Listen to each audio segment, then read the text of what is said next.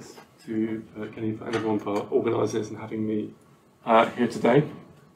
Um, I guess the uh, the audience, I mean, yeah, this is all about laybys, um, but it's also about a sort of uh, a sort of layering of um, archaeological uh, approaches.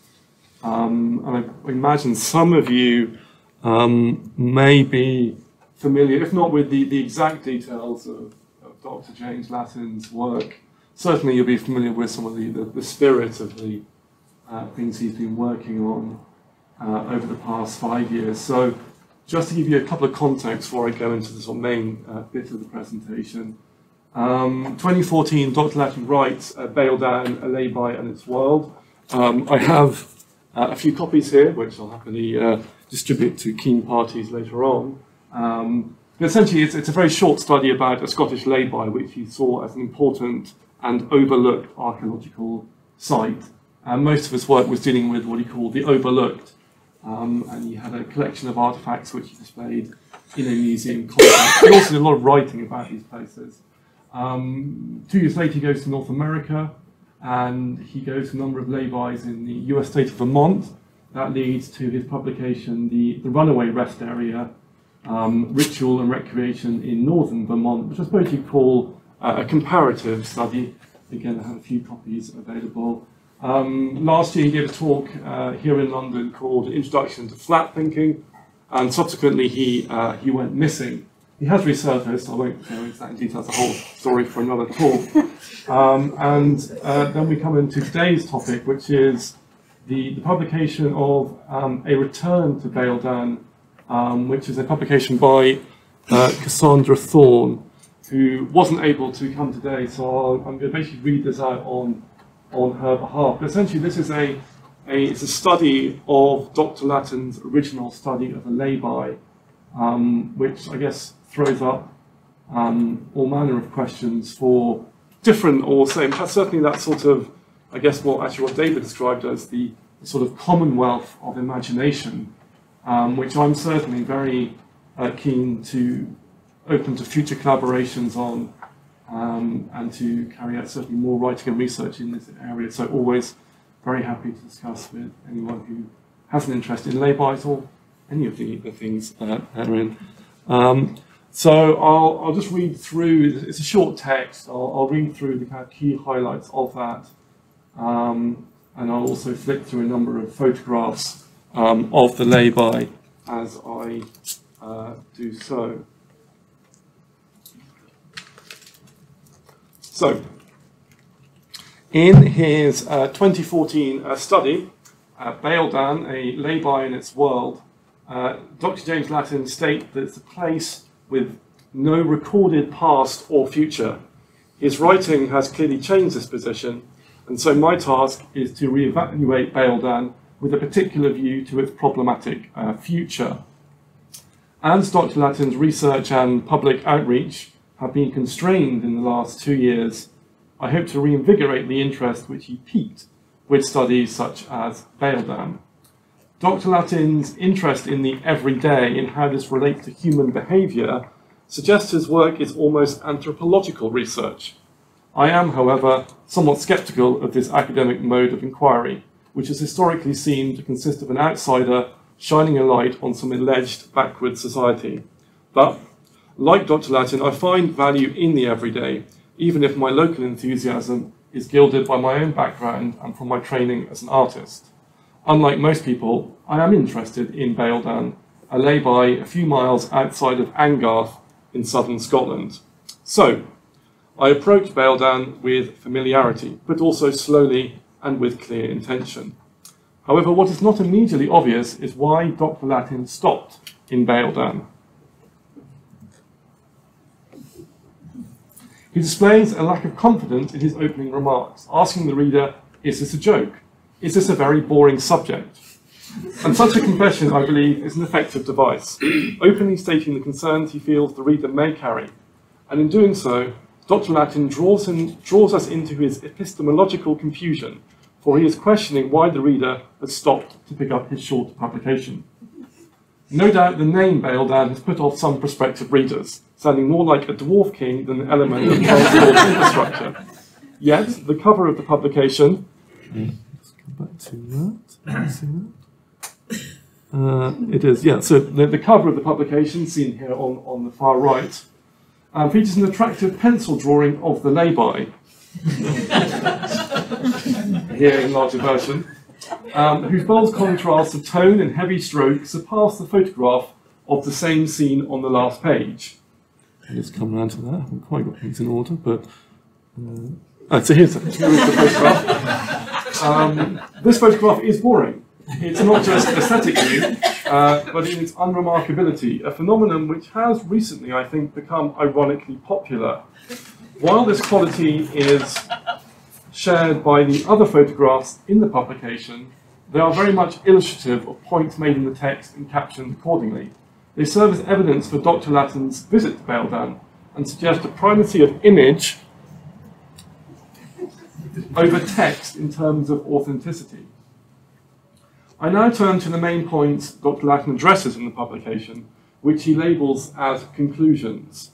While I applaud uh, Dr. Latton's choice of subject matter and keen interest, I do wonder if he's been distracted by details. He says he is not going to pro provide a vast amount of text, yet in his sparse archaeology, he leaves us with many questions. His form of research is therefore quite different to that of the institutions which he has distanced himself from and is predominantly focused on the collection of details. Dr. Latin notices things, yet he does not always know what to do with them. um, so I'll just read out some of the, some of the labels Dr. Latin put in. So the first conclusion is that Baildan was uninhabited.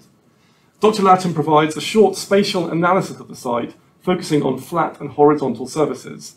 This gravitational approach does not consider the area under the ground and above it, which is likely to contain life forms such as worms, flies, beetles, wasps.